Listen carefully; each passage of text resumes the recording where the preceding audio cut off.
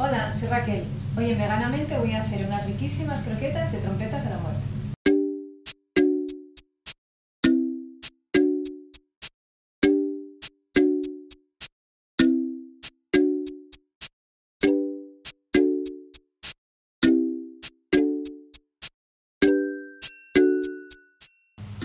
Para hacerlas vamos a necesitar unas setas que, bueno, como os he dicho al principio, voy a usar trompetas de la muerte. Estas están deshidratadas, también las podéis conseguir frescas y estas las hidrataré luego para usarlas.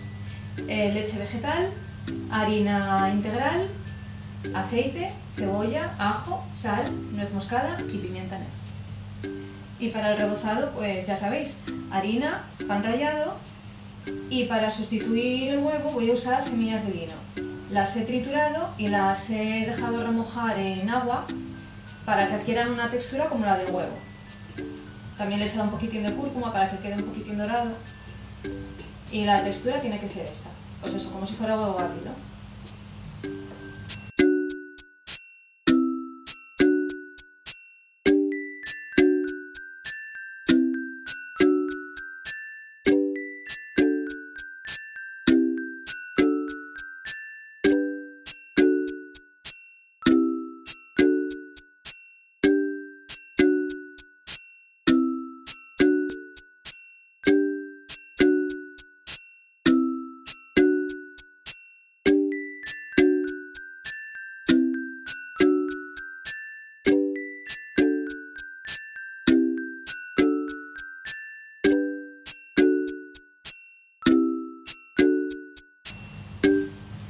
Como veis he picado muy menudito tanto la cebolla como el ajo para que luego se note lo menos posible en la croqueta. Ahora vamos a cortar las setas, que como veis ya las he hidratado, las he tenido 10 minutos cociendo a fuego suave, pero bueno, vosotros seguir las instrucciones del envase. Y he reservado un poco del agua de la cocción para incorporárselo luego a la masa de las croquetas para que tenga más sabor.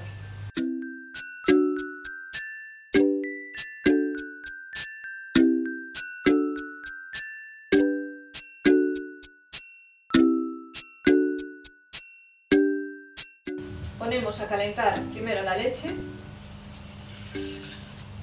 y como os dije un poco del líquido del remojo de las setas. Ponemos un poco de aceite en un recipiente a calentar para sofreír la cebolla y el ajo.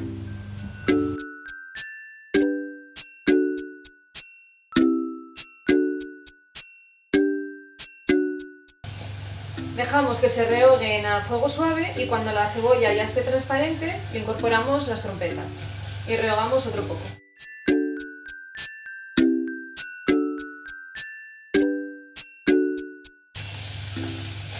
Ahora ponemos la harina y removemos para que no se queme, pero que se tueste un poquitín durante un minuto más o menos, para que pierda el sabor a harina.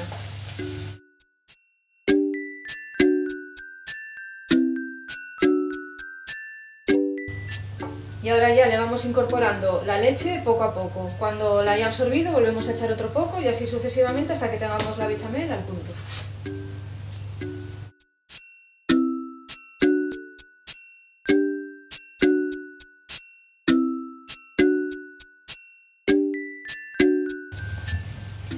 El fuego tiene que estar mediano, vamos, que no esté muy fuerte ni demasiado suave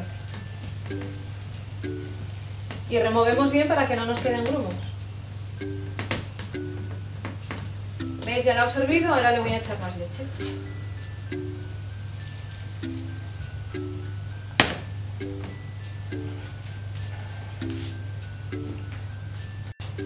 Cuando tenga el punto que queremos, pues ya le rectificamos la sal, le echamos la nuez moscada y la pimienta negra y ya lo retiramos del fuego.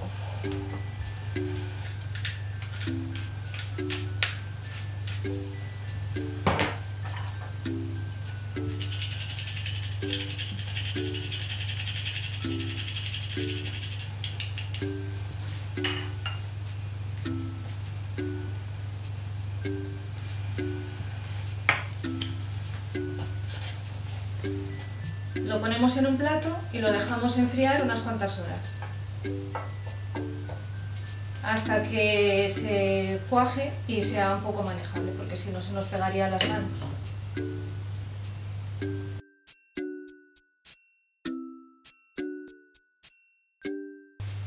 Ya han pasado unas cuantas horas y como veis ya se ha enfriado la masa. Entonces ahora ya se puede trabajar con ella, así que vamos a empezar a rebozarlas. Primero nos untamos las manos con un poco de aceite y vamos cogiendo porciones del tamaño que las queráis, las queréis más grandes o más pequeñitas. Le damos forma. Pasamos primero por harina, las pasamos por el falso huevo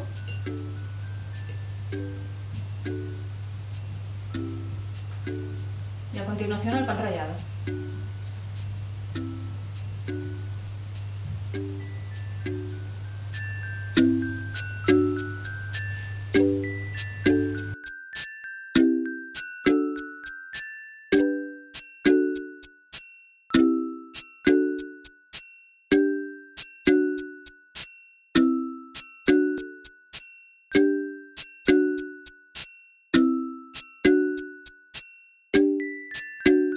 Lo vamos haciendo hasta que terminemos la masa.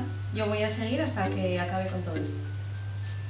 Y ahora simplemente nos queda freírlas en abundante aceite caliente hasta que estén doraditas.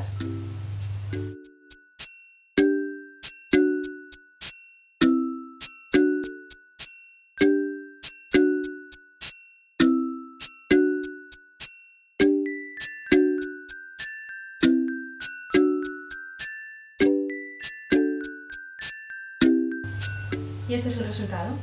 ¿Veis? Está crujiente por fuera. A ver cómo está por dentro. Sí, está cremosito. Están riquísimas. Veganízate.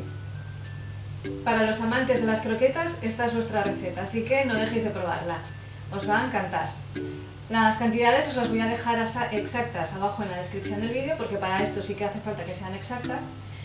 Y, y, bueno, los enlaces de otros sitios donde me podéis seguir, como siempre os digo, mi blog veganamente.es, Twitter, Facebook, Instagram, etc. Cualquier duda que tengáis, dejádmela abajo en los comentarios, que yo no tengo ningún problema en contestaros. Ya sé que ya lo sabéis, pero bueno, dadme un like si os ha gustado la receta, compartir con todos vuestros conocidos, amigos y demás. Y si no lo habéis hecho, suscribiros, porque además ahora estoy, ya me queda un poquitín, un poquitín para llegar a los 10.000 y me haría mucha ilusión llegar pues a finales de año o en enero. Así que bueno, os animo a que os suscribáis y a que compartáis para que haya más gente que se suscriba y poder llegar a los 10.000 en breve. Así que si me echéis una manina, os lo agradezco. Y hoy, antes de despedirme, quiero mandarle un saludo especial a Melanie de Ponferrada. Así que un beso, Melanie. Y nos vemos en la próxima receta. ¡Chao!